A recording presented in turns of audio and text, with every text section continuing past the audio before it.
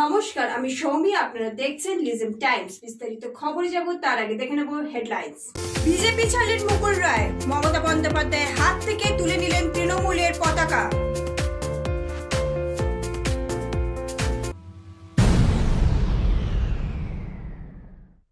পেট্রোপণ্যের মূল্য বৃদ্ধির প্রতিবাদে বিক্ষোভে সামিল হলো জাতীয় কংগ্রেসের কর্মী সমর্থকরা।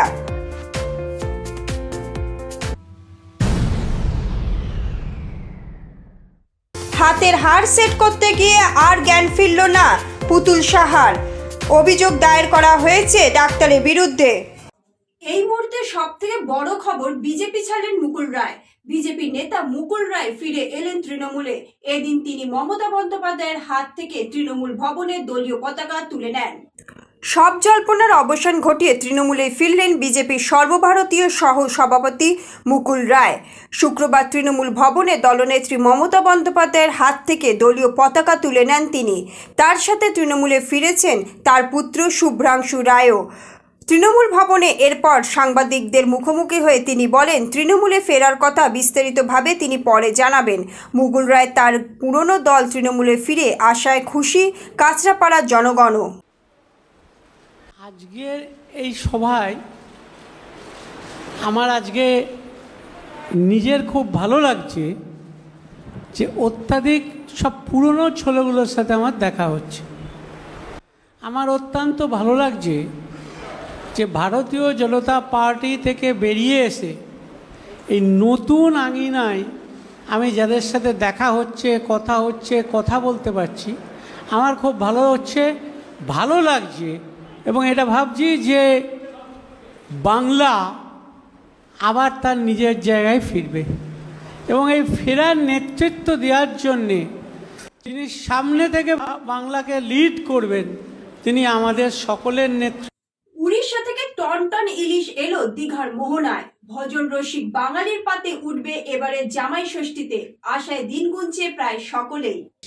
কদিন পরে জামাই ষষ্ঠী, তার আগেই ভোজন রসিক বাঙালিদের জন্য সুখবর। বলা যেতে পারে প্রায় দেড় বছর অপেক্ষার পর বাঙালির আশা পূরণ হতে চলেছে।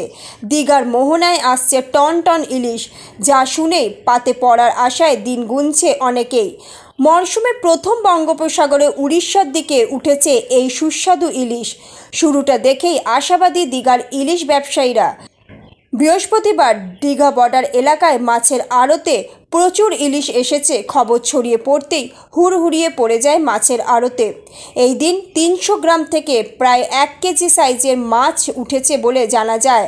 আড়তদার সুশান্ত জানা বলেন, এখন দীঘার মোহনায় মাছ ধরা সম্পূর্ণ বন্ধ রয়েছে।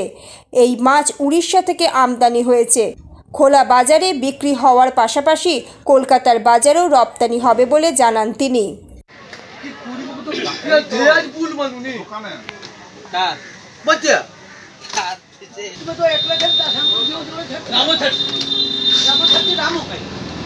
উড়িষ্যা থেকে আসছে। মোটামুটি সাইজ তিনশো থেকে ছশো, সাতশো পর্যন্ত হবে। দাম এখন বিভিন্ন রকমের সাইজ আছে সাইজ অনুযায়ী মাছের দাম আছে। মোটামুটি তিনশো মাছ পাঁচশো টাকা। আর চারশো মাছ ছশোর উপরে। আর সাতশো মাছটা ছশো সাতশো মাছটা আটশো টাকা করে। এটা আমার উড়িষ্যার থেকে এলা মাছটা আসছে। এই ইলিশ সাইজে কীরকম বা কত টাকা দামে বিক্রি হচ্ছে? ইলিশের তিনশো গ্রাম মাছ হলো পাঁচশো টাকা চারশো গ্রাম আছে ছশো টাকা পাঁচশো গ্রাম হলো সাতশো আটশো। এটা কি পুলিশের চোখে ধুলো দিয়ে ভ্যানিশ হয়ে গেল বা এক বাংলাদেশি মাদক পাচারকারী হন্য হয়ে খুঁজছে পুলিশ। পুলিশের চোখে ধুলো দিয়ে বেপাত্তা হলো এক বাংলাদেশি মাদক পাচারকারী।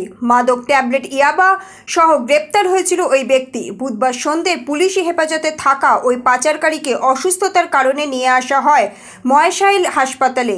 সেখান থেকে বেপাত্তা হয়ে যায় মোহাম্মদ সোহেল নামের ওই পাচারকারী। রবিবার প্রায় তিরিশ হাজার ইয়াবা ট্যাবলেট সহ মোহাম্মদ সোহেল নামের ওই বাংলাদেশিকে গ্রেপ্তার করেছিল সুতি থানার পুলিশ। ধৃত ব্যক্তিকে জঙ্গিপুর মহকুমা আদালতে তোলা হলে তাকে দশ দিনের জন্য পুলিশ হেফাজতের নির্দেশ দেয় আদালত। ছিলেন সুতি থানার পুলিশের হেফাজতে। চলছিল তদন্ত। অসুস্থ হয়ে পড়ায় সুতি থানার পুলিশ সোহেলকে ময়সাইল স্বাস্থ্য কেন্দ্রে ভর্তি করে। পুলিশের চোখে ধুলো দিয়ে ময়সাইল হাসপাতাল থেকে পালিয়ে যায় সোহেল। সুতি থানার পুলিশ তার খোঁজে তল্লাশি শুরু করেছে। এই আকাশ! ওখানে কি করছিস তুই?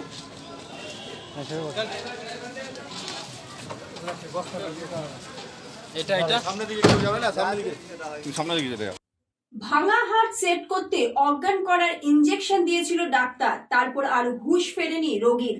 অন্য হাসপাতালে নিয়ে গিয়েও বাঁচানো যায়নি তাকে। এই ঘটনাকে কেন্দ্র করে চরম উত্তেজনা ছড়ালো কোন্নগরে। ডাক্তারের শাস্তির দাবিতে প্রবল বিক্ষোভ এলাকায়। উত্তরপাড়া থানার পুলিশ পৌঁছেছে ঘটনাস্থলে। কোন্নগর কাশারি পুকুরের বাসিন্দা পুতুল সাহা বৃহস্পতিবার সকালে বাড়িতেই পা পিছলে পড়ে যান। বা হাতের কবজিতে আঘাত লাগে তার। স্থানীয় চিকিৎসক সুমিত মিত্রের কাছে নিয়ে যাওয়া হলে তার হাতের এক্স রে করতে বলা হয়। সন্ধ্যায় রোগীকে ডাক্তারের চেম্বারে নিয়ে গেলে জানানো হয়, হাত সেট করতে হবে, তার জন্য রোগীকে অজ্ঞান করতে হবে। সেই মতো অজ্ঞান করে হাতের হাড় সেট করা দীর্ঘ সময় পরেও জ্ঞান ফেরেনি পুতুল দেবী। ডাক্তার মিত্র অ্যাম্বুলেন্স ডেকে কোন্নগরে এক বেসরকারি হাসপাতালে নিয়ে যান রোগীকে, কিন্তু তার আর জ্ঞান ফেরেনি। এই ঘটনার পর চিকিৎসকের শাস্তির দাবিতে বিক্ষোভ শুরু করে মৃতার পরিবারের লোকজন। খবর পেয়ে হাজির হয় উত্তরপাড়া থানার পুলিশ। ডাক্তার সুমিত মিত্রের বিরুদ্ধে পুলিশে অভিযোগ জানায় মৃতার পরিবার।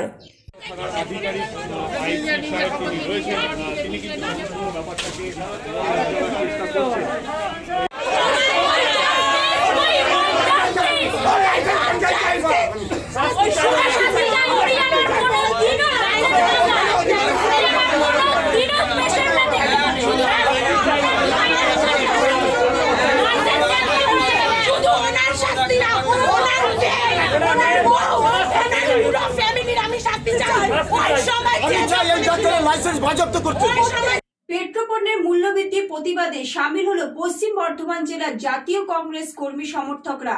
কেন্দ্রীয় সরকারের তীব্র সমালোচনার সাথে প্রধানমন্ত্রীর কুশপুত্তলিকাও দাহ করেন বিক্ষোভকারীরা। দুর্গাপুরের কংগ্রেস কর্মীরা এদিন সাইকেলে চেপে এই প্রতিবাদে সামিল হয়। পেট্রোপণ্যের মূল্যবৃদ্ধির প্রতিবাদে পশ্চিম বর্ধমান জেলার আসানসোলে বিক্ষোভে সামিল হলো জাতীয় কংগ্রেসের কর্মী সমর্থকরা।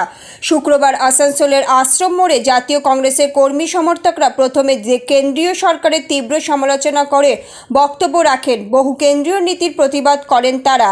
এদিনের বিক্ষোভ সমাবেশে নেতৃত্ব দেন কংগ্রেসের শাহ আলম, প্রসেনজিৎ পৈতুন্ডি মূল্যবৃদ্ধির প্রতিবাদে প্রধানমন্ত্রী নরেন্দ্র মোদীর সমালোচনা করে তার কুশপুত্তলিকা দাহ করেন বিক্ষোভকারীরা এদিনের বিক্ষোভ কর্মসূচিতে বহু কংগ্রেস কর্মী সমর্থকরা উপস্থিত ছিলেন।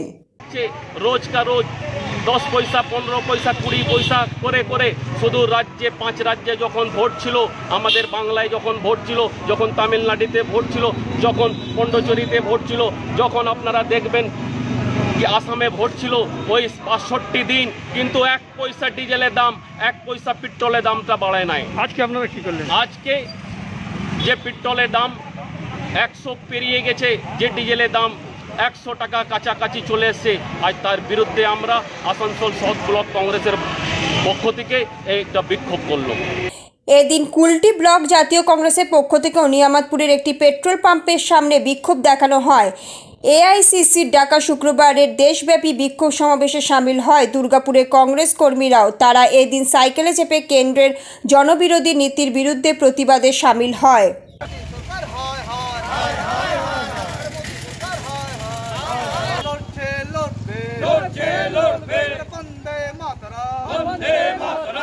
প্রত্যেক দিন কিন্তু ডিজেল এবং পেট্রোলের দাম বৃদ্ধি পাচ্ছে। বিশ পয়সা, ছাব্বিশ পয়সা, কুড়ি পয়সা, এইভাবেই হবে। তো সেইটা আজকে কিন্তু প্রায় প্রায় সেঞ্চুরির কাছে পৌঁছে গেছে। যেটা সকালে আমি দেখলাম নিউজ মারফত যে ছিয়ানব্বই টাকা লিটার প্রতি এখন পেট্রোল এবং নব্বই টাকার প্রতি ডিজেল হয়ে গেছে। তো এই যে ডেলি প্রত্যেক দিন যেভাবে পেট্রোল ডিজেলের মূল্য বৃদ্ধি হচ্ছে এতে কিন্তু জনসাধারণের উপরে কিন্তু চাপটা বোঝাটা পড়ছে। তার কারণ আমি আপনাকে বলেছি কারণ এর মূল্য বৃদ্ধিতে আমাদের পুরো নির্ভর করে বাকি দৈনন্দিন নিত্য প্রয়োজনীয় জিনিসগুলো। যেরকম ট্রান্সপোর্টিংয়ে আমাদের মালপত্র বাইরের থেকে এখানে আসে। নন্দীগ্রামের দুটি ব্লকে শুরু হলো দুয়ারে পুলিশ প্রকল্প। এলাকার সাধারণ মানুষকে আর অভিযোগ নিয়ে ছুটতে হবে না থানায় থানায়। উল্টে থানার আধিকারিকরাই দুয়ারে দুয়ারে এসে জানতে চাইবেন অভিযোগ আছে কিনা। তার সমাধানও হবে চট জলদি সরকারি এই প্রকল্প পেয়ে খুশি এলাকার বাসিন্দারা। আর কোনো অভিযোগ নিয়ে ছুটতে হবে না থানায়। উল্টে থানার অফিসাররাই আসছে আপনার এলাকায়। একেবারে বাড়ির দরজায়।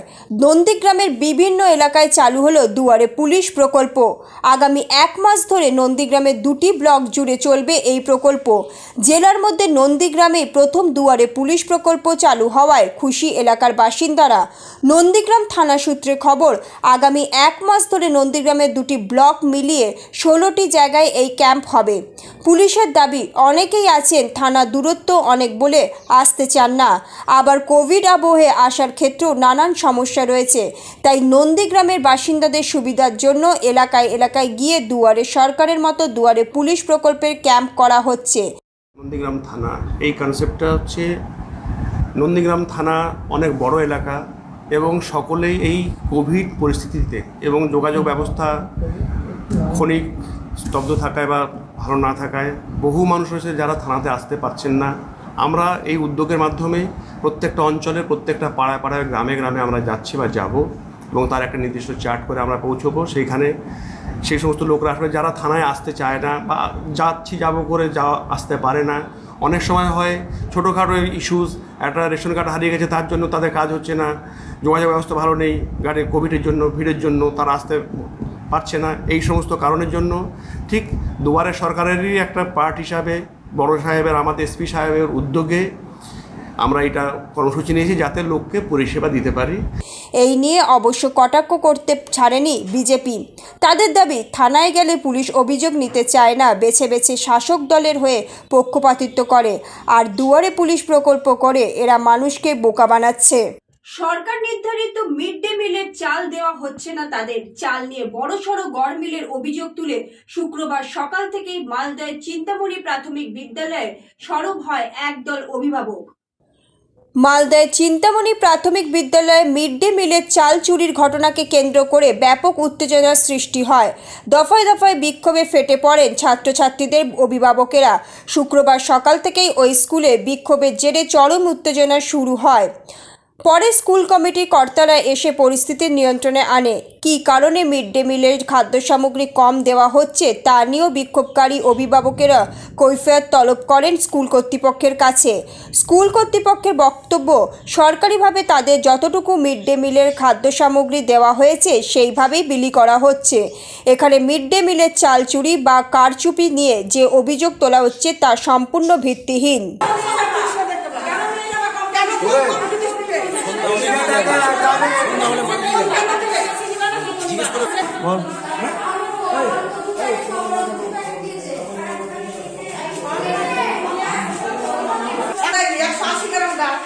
একশো আশি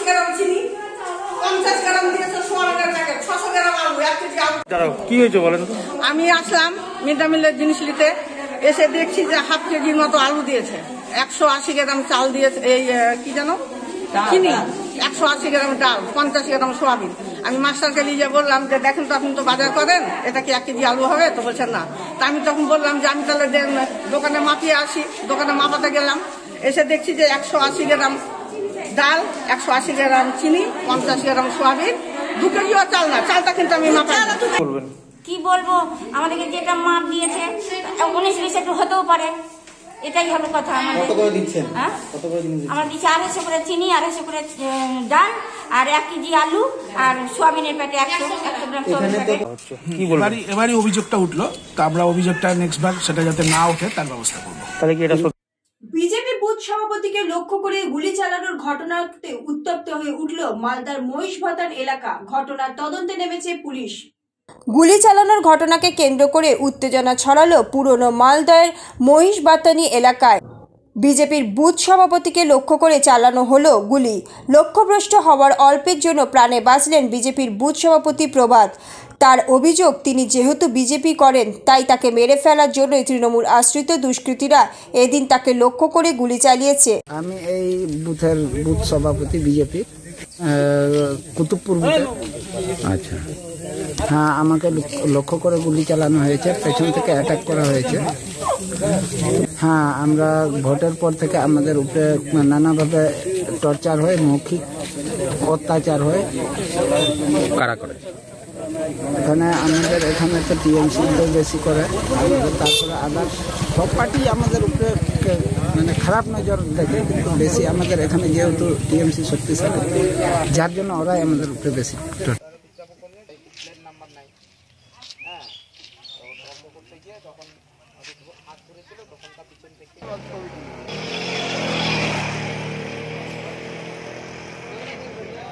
তৃণমূল অবশ্য এই ঘটনার দায় অস্বীকার করে বলেছে, এটি বিজেপির দুই গোষ্ঠীর গণ্ডগোলের জের। তাদের দাবি, প্রশাসন তদন্ত করলেই আসল ঘটনা বেরিয়ে পড়বে। এর সাথে তৃণমূলের কেউ জড়িত নয়। ভাবুক অঞ্চলের মহিষবাতানে বিজেপির সাথে, বিজেপিদের মধ্যে প্রতিদিনই গোলমাল চলে। ভোটের আগেও আপনারা দেখেছেন, বিজেপির প্রার্থীকে কারা আক্রান্ত করেছিল, বিজেপির লোকেরাই করেছিল। এই ঘটনাটার সাথে তৃণমূলের কোনো যোগই নেই। আমরা প্রশাসনকে অনুরোধ করব যে উপযুক্ত তদন্ত করে দোষীদের ব্যবস্থা করতে। আপনারা দেখতে পাবেন যে সম্পূর্ণ ঘটনাটাই বিজেপির লোকেদের অন্তর্দ্বন্দ্বই বেরিয়ে আসছে। আজ এই পর্যন্তই। আগামীকাল আবার দেখা হবে। ঠিক এই সময় এই চ্যানেলে দেখতে থাকুন লিজেন টাইমস